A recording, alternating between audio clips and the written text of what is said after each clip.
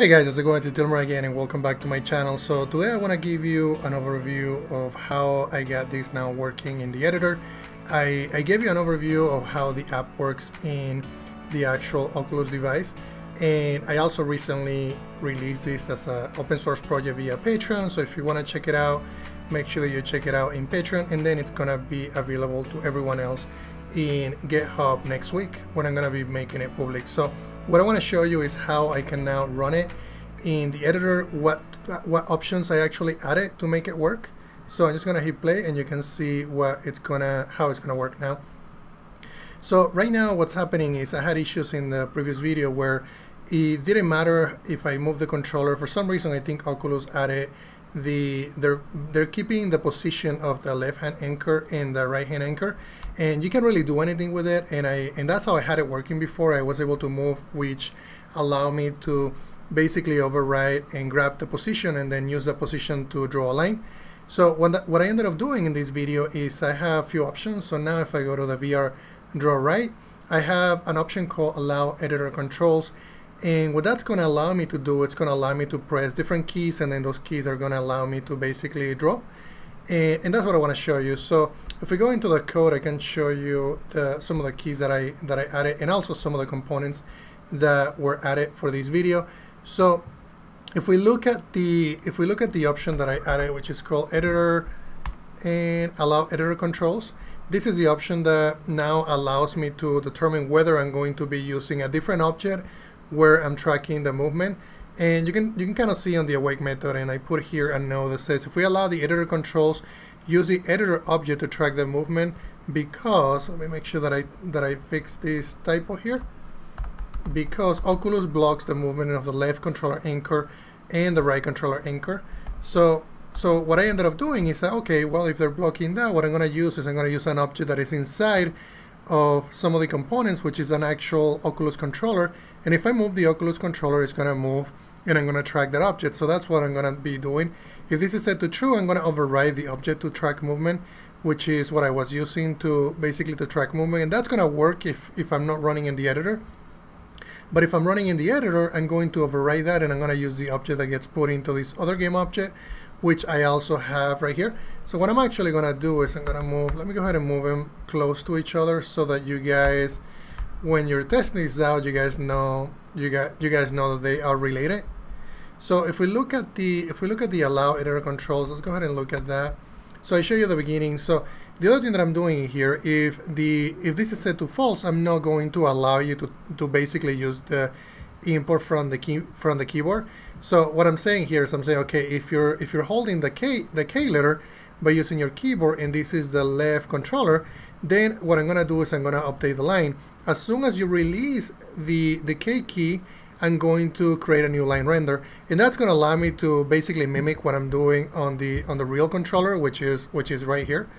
And, and that actually works really well. I can do that with the K letter and I can do that with L. So K is going to be for the left controller and then the L letter is going to be for the right controller. And I actually ended up renaming some of these. I think this is going to be, so this is going to be the left control. Let's go ahead and rename left controller.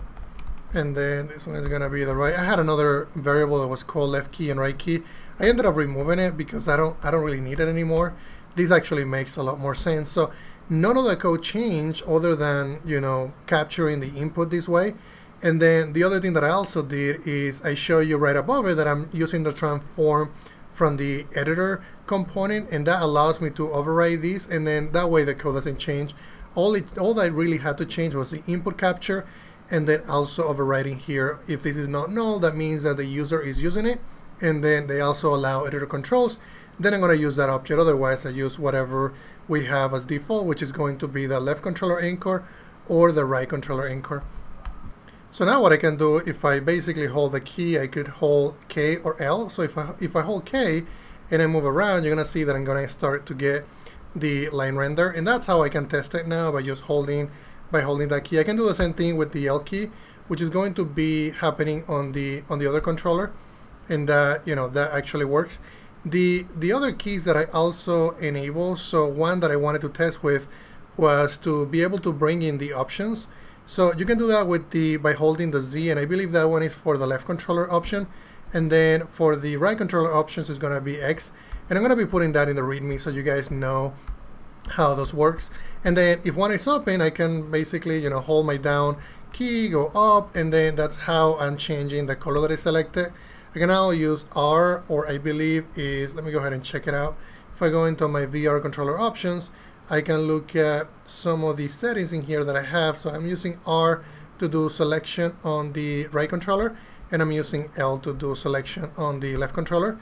So if I do L here, now I know that the basically the red color is selected.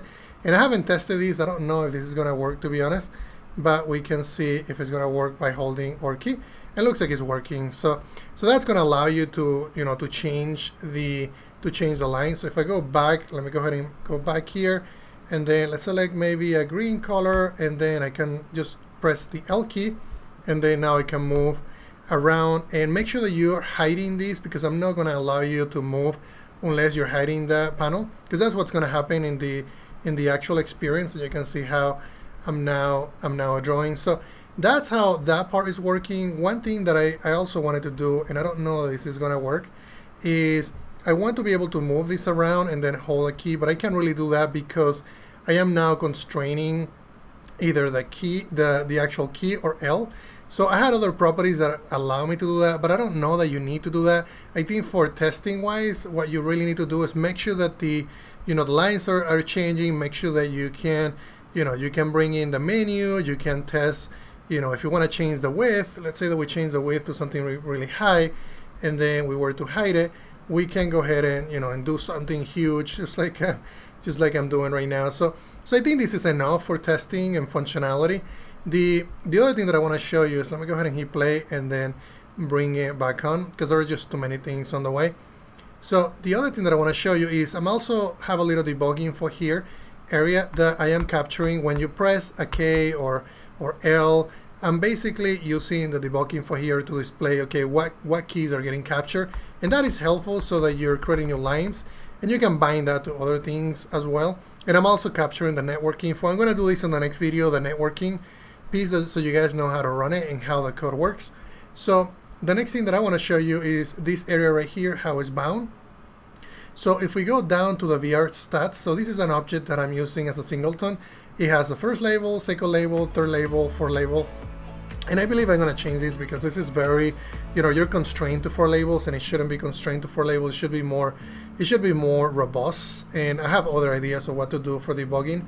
But for now, this is how it's done. And then the way that it gets called, if we go back into VS Code and we go into the VR, VR draw, you can see that I'm using VR stats, instance, second text, and these are all public so that's why I can access them that way. I don't so I don't really like it that I did it that way but that's how it is done right now. I might change it later on. So make sure that you check that out. You can also go into that class and see how it is set up. It's very basic. It's just a bunch of you know options that I have serializable text and then I'm just calling the text property to to set these values so that I can debug it. So that's honestly everything that I wanted to show you guys today. If you guys have any questions please let me know